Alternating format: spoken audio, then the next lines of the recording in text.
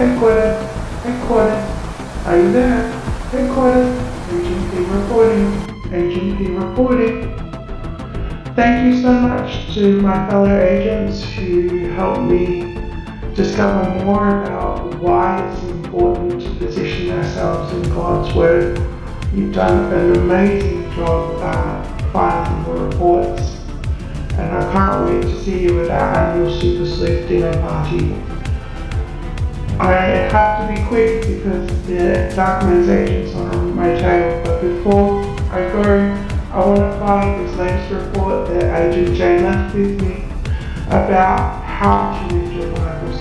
I wonder if my fellow agents at the Spy Academy can discover any other ways of how to read your Bible. Gotta go. Bye.